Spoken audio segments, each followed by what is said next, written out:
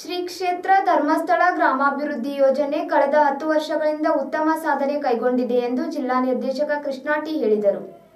ಹುಕ್ಕೇರಿ ತಾಲೂಕಿನಲ್ಲಿ ಎರಡ್ ಸಾವಿರದ ಹನ್ನೊಂದರಿಂದ ಪ್ರಾರಂಭಿಸಿದ ಶ್ರೀ ಕ್ಷೇತ್ರ ಧರ್ಮಸ್ಥಳ ಗ್ರಾಮಾಭಿವೃದ್ಧಿ ಯೋಜನೆ ಕಳೆದ ಹತ್ತು ವರ್ಷಗಳಿಂದ ತಾಲೂಕಿನಾದ್ಯಂತ ಉತ್ತಮ ಸಾಧನೆ ಕೈಗೊಂಡಿದೆ ಎಂದು ಶ್ರೀ ಕ್ಷೇತ್ರ ಗ್ರಾಮಾಭಿವೃದ್ಧಿ ಯೋಜನೆ ಚಿಕ್ಕೋಡಿ ಜಿಲ್ಲಾ ನಿರ್ದೇಶಕ ಕೃಷ್ಣ ಟಿ ಹೇಳಿದರು. ಅವರು ಇತ್ತೀಚೆಗೆ ಹುಕ್ಕೇರಿ ತಾಲೂಕಿನ ಗ್ರಾಮಾಭಿವೃದ್ಧಿ ಕಚೇರಿಯಲ್ಲಿ ಪತ್ರಿಕಾಗೋಷ್ಠಿಯಲ್ಲಿ ಮಾತನಾಡಿದರು. ತಾಲೂಕಿನಲ್ಲಿ ನಾಲ್ಕು ಸಾವಿರದ ಏಳ್ನೂರ ಇಪ್ಪತ್ತೇಳು ಸಂಘಗಳು ಹುಟ್ಟಿಕೊಂಡಿದ್ದು ಮೂವತ್ತೈದು ಸಾವಿರದ ಆರುನೂರ ಅರವತ್ತೆರಡು ಸದಸ್ಯರನ್ನು ಹೊಂದಿದೆ. ಪ್ರತಿ ಸದಸ್ಯರು ಹತ್ತು ರೂಪಾಯಿ ಕೂಡಿಟ್ಟ ಉಳಿತಾಯದ ಹಣ. ಇವತ್ತಿಗೆ ಅದು ಹನ್ನೊಂದು ಕೋಟಿ ತೊಂಬತ್ಮೂರು ಲಕ್ಷ ಎಪ್ಪತ್ತೇಳು ಸಾವಿರದ ಮುನ್ನೂರ ಎಂಬತ್ತು ರೂಪಾಯಿಗಳಾಗಿದೆ. ಇನ್ನು ಕಾರ್ಪೊರೇಷನ್ ಬ್ಯಾಂಕಿನಿಂದ ನೀಡಿರುವ ಇದುವರೆಗೂ ಸಾಲ ಮೂರು ಕೋಟಿ ಐದುನೂರ ನಲವತ್ತೆಂಟು ಲಕ್ಷ ಎಂಟುನೂರ ನಲವತ್ತೆಂಟು ಸಾವಿರದ ಎಂಟುನೂರ ಎಂಬತ್ತೇಳು ಹಣದಿಂದ ರಾಷ್ಟ್ರೀಯ ಪಿಂಚಣಿ ಯೋಜನೆ, ಶೌಚಾಲಯ ಅನುದಾನ, ರೈತರಿಗೆ ಯಂತ್ರೋಪಕರಣಗಳು, ತಾಲೂಕಿನ ಮಕ್ಕಳಿಗೆ ಶಿಷ್ಯ ವೇತನ ರುದ್ರಭೂಮಿಗಳಿಗೆ ಸಹಾಯಧನ ಜ್ಞಾನದೀಪ, ಶಿಕ್ಷಕ, ಸಮುದಾಯ ಅಭಿವೃದ್ಧಿ ಮಧ್ಯವರ್ಜನ ಶಿಬಿರ ಸೇರಿದಂತೆ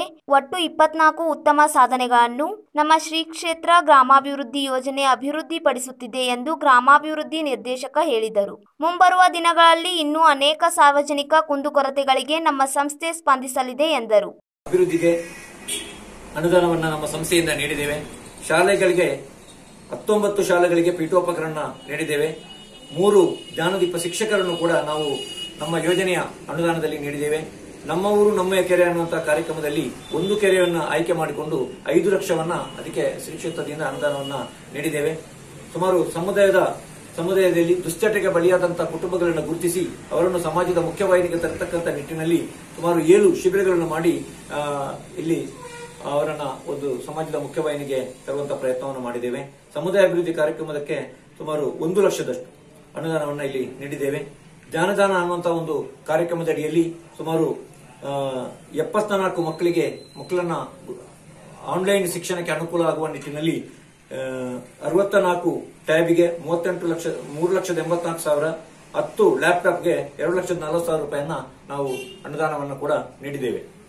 ವಾತ್ಸಲ್ಯ ಕಿಟ್ಟಿನಡಿಯಲ್ಲಿ ಈಗಾಗಲೇ ಮಾಸಾಸನ ಕಾರ್ಯಕ್ರಮ, ಮಾಸಾಸನ ಪಡ್ಕೊಳ್ತಕ್ಕಂಥ ನಿರ್ಗತಿಕರಿಗೆ ವಿಶೇಷವಾಗಿ ಈ ಸಂದರ್ಭದಲ್ಲಿ ವಾತ್ಸಲ್ಯ ಕಿಟ್ ಅನ್ನುವಂತ ಒಂದು ಅಗತ್ಯ ವಸ್ತುಗಳನ್ನು ಕೂಡ ನಾವು ಸುಮಾರು ಅರವತ್ತೊಂದು ಕುಟುಂಬಗಳಿಗೆ ಪೂರೈಸಿದ್ದೇವೆ.